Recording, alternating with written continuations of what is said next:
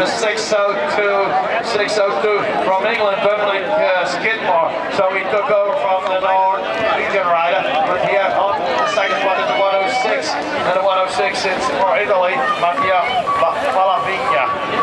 Oké, watch out hier opgelet voor de Nederlander Jeffrey van der Biezen. Because he's going really fast. But watch out for the French guy.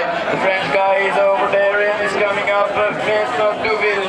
Vincent Duville is riding on the first position for the moment. De Nederlander op de tweede plaats hier. Jeffrey van der Biezen.